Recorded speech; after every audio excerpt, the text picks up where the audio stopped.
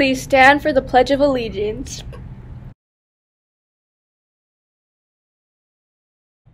I pledge allegiance to the flag of the United States of America and to the republic for which it stands, one nation, under God, indivisible, with liberty and justice for all.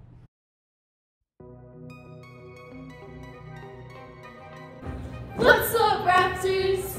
Today is Wednesday, October 23rd. Hope you guys have an amazing day. Now, on to the Daily News. Hey Raptors, if you have any out of school photos with you hanging out with your friends, please go look in the JMMS Google Classroom and fill out the form. All the information is in the form. This is where the form is in the school wide Google Classroom. Thanks, Raptors. Hey Raptors, the Black Student Union is meeting today. They're going to meet during A lunch in D108 and B lunch in C101. See you there every Wednesday, Raptors. Go Girl Empowerment Summit on November 8th, 2024 from 9 a.m. to 1:30 p.m. If you signed up, come see Miss Brinson in room C101 for a permission slip and a release form.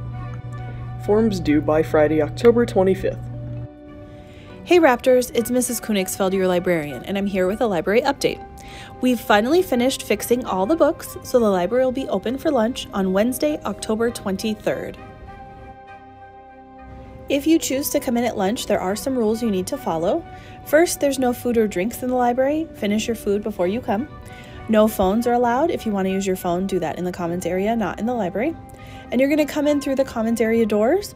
And right when you come in, there'll be a uh, computer set up for you to sign in on a Google form. While you're there, you can read, play games, color, do your homework. There is no running around in the library, and then no in and out. When you come into the library for lunch, you're in. So remember, the library is only open on Wednesday this week, Wednesday, October 23rd. And I do hope in future to be able to open on most Mondays, Wednesdays, and Fridays. Uh, it just depends on if the library is being used. Have a great day, Raptors! Weekly shoutouts to Emma. This week I will interview Miss Brunson. Your name? My name is Rosalind Brunson. What grades do you teach? I teach 7th grade and 6th grade ELA. Who would you like to shout out this week? I'd like to shout out Abrielle Pendleton. She's a 6th grader in my 6th period class. Great kid, love working with her, and I hope she does continues to do well this year.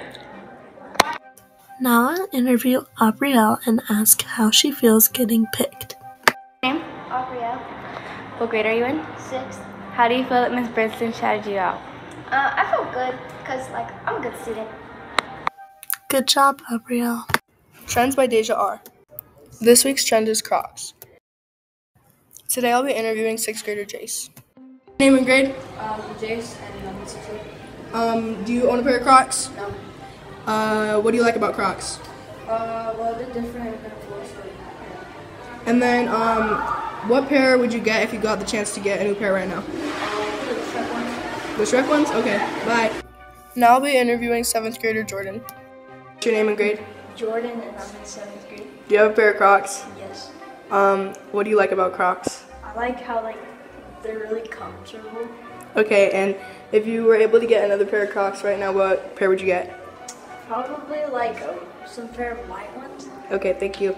That's all for today, Raptors. Have a great day. Where in the world is Ramona Reveal? Facts about Disneyland. It used to be a parking lot 49 rides, and the original name was the Mickey Mouse Park. Here's a photo of Ramona at Disneyland. Bye, Raptors. Have a great day, Raptors.